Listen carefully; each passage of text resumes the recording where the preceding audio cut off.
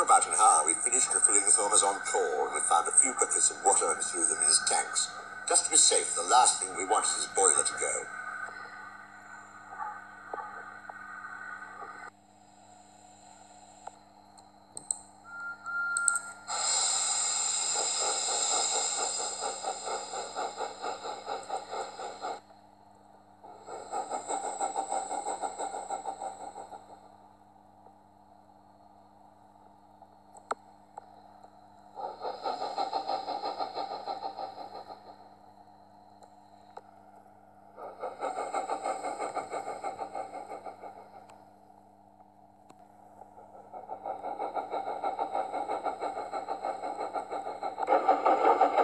We got to pass to find the entire station somewhere. The station had been evacuated. Loose luggage was everywhere.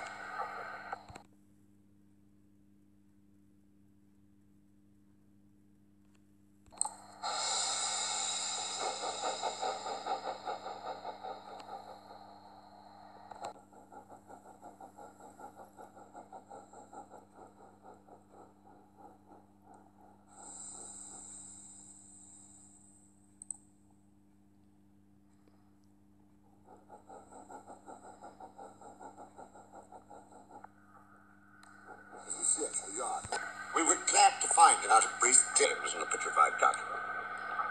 We weren't able to get much from Duck. All he got out before freezing up was that he was near calling. I think he mentioned the twins. To James said that he was at Knapford with a small passenger train when everything went to hell.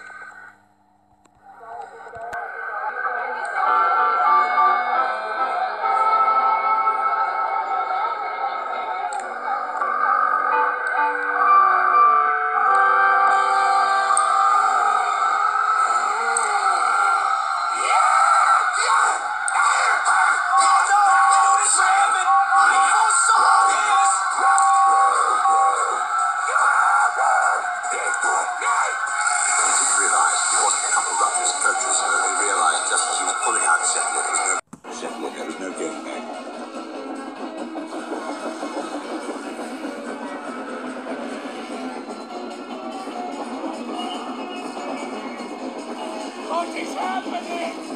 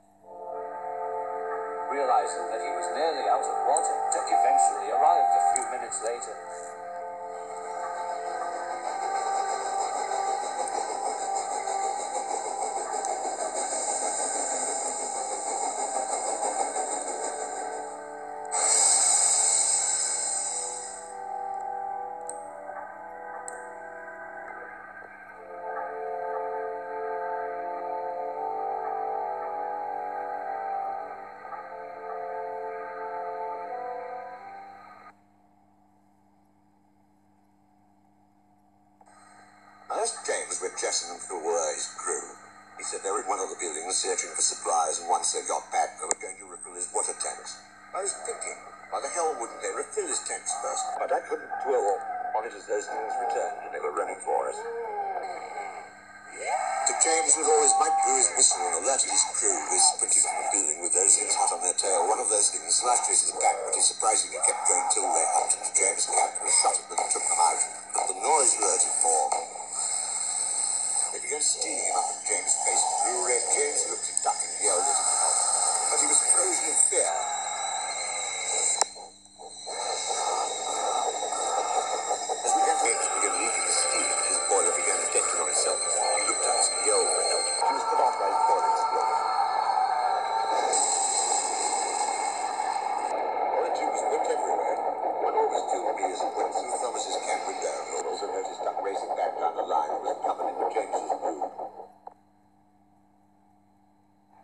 Continued away from Mouth and Thomas hasn't said a word since James.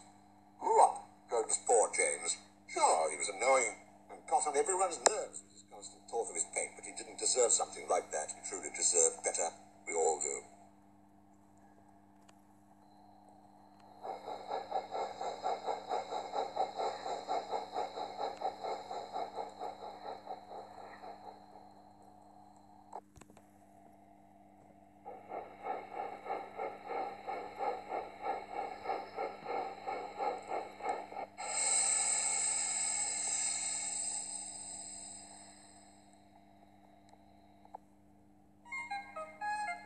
To Knifeshed. We were shocked to see Henry in a bunch of service doing one of the berths. We were ecstatic to see his servant, and Henry was glad to have someone to talk to. Henry said he picked up a goods train from Brendam and was passing through Wellsworth when he saw people on the platform being attacked by those creatures. Henry raced as fast as he could to crossing and picked up several survivors and continued down the line until he reached said he saw when James rushed past. He said he saw people being attacked in Emily's third. And James looked exhausted. He hoped they were okay. Ferguson told him about James and how he was dead. Henry broke down in tears when he was told this and got angry at Fergus saying that he could have done something, and I yelled at him telling him that we would have died if we went to save him. Henry shut up after this and didn't speak another word to anyone that night. We decided it was best to get some sleep ourselves. We hoped Henry would be better by morning.